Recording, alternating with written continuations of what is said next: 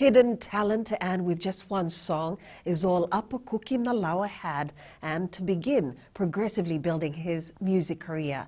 With no actual musicians in his immediate family, Apakuki held steadfast to his faith and taught himself a skill that has now grown into a passion and also supports his family. Lena Reese with tonight's success story.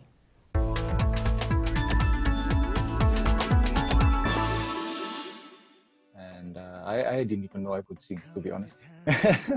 Born in Lautoka and then moving with his parents and siblings to Suva, Apakuki Nalawa was always surrounded with music and family. my musical taste was influenced by my older sisters, because uh, my older sister um, used to, you know, back in the days where you wait for a song to play on the radio, and then you have to and uh, call everybody, hey, come on, we have to record the song on the cassette and wait for it to start or, to stop.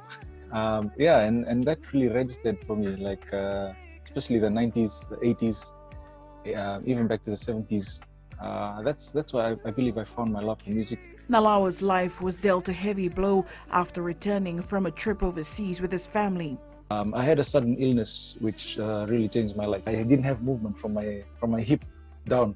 I actually uh, was bedridden for a few months. I actually had to learn how to walk, starting from crawling, and then went on to the wheelchair and, and crutches.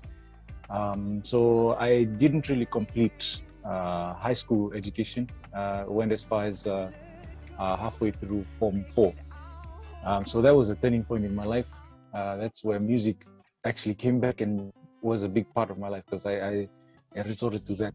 After meeting his wife in a worship team at church, Nalawa took a leap of faith with just one song to begin his journey as a full-time musician. I went back to the Mango Cafe and I sang Gravity by John Mayer. And she's like, Yep, that's it. When can you start? With only one song. So I had to, in that one week, I had to learn a whole repertoire of songs, just fresh from church, uh, jumping into a different, whole new scene. So that's how my musical career started.